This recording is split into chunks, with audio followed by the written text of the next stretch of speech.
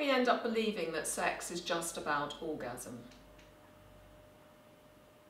Let's just talk about the ways in which women are thought to orgasm, first of all.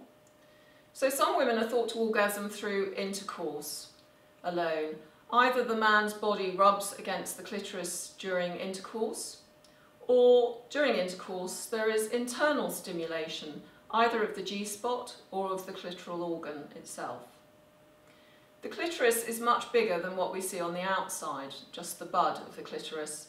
It is an erectile organ that extends back into the pelvis, much as the penis does.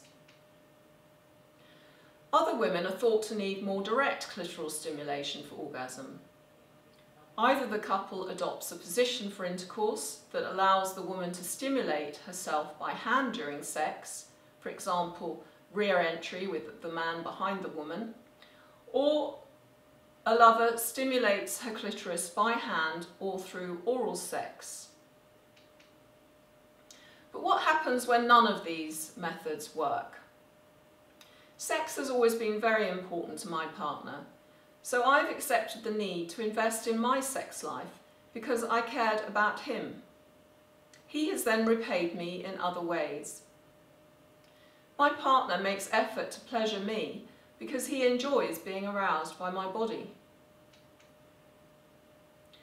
The point is to focus on improving what you already have.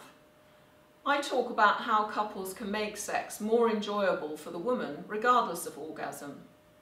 I reassure women that their experience is common and that they are not alone. Personally, I enjoy my partner starting with a general massage that becomes more genitally focused. By talking honestly about my own experiences, I hope to encourage other women to come forward and volunteer their experiences of how they enjoy sex and orgasm. As a more mature woman, I do respond with a lover, but my response relies on stimulation techniques other than vaginal intercourse.